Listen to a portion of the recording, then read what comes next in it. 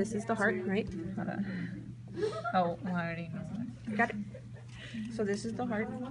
This is the left and the right auricle. This is the ascending With this aorta. picture, yes, because now your trachea's going Descending right there. The descending aorta. The big difference. This right here checking is out that the ascending aorta or the aortic arch. like that, Where this one is This like is the much- brachiocephalic trunk. This one's much better. This is the superior Okay. vena cava. So, This is your left subclavian artery. This is your left common carotid artery. This is your right brachiocephalic artery. If you look here, it's broken, but this would be your right brachiocephalic vein. This would be your left brachiocephalic vein.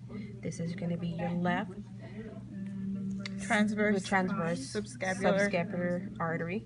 And then underneath that, you're going to see your left internal jugular vein. You're going to see your left external jugular vein. And then you're also going to see all three branches are going to come off and go like this. your left subscapular vein, your axillary vein, your left brachial vein, your left brachial artery, Your Your left, that's the one left holding up whatever it is. subscapular artery, your axillary artery, which is on the left side, and this is your. Sorry, give me a second. This is going to be the right. It won't do it. Okay, This- is going to be your left is the trachea, so let's move six thyrocervical artery. Sorry, guys, I have to turn it so y'all can see it.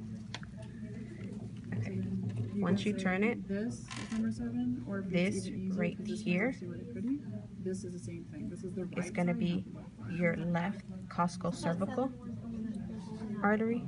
This is going to be your left vertebral artery. Okay, so I think that's all of them. Oh, sorry. This is going to be your right internal mammary You vein can put it here artery.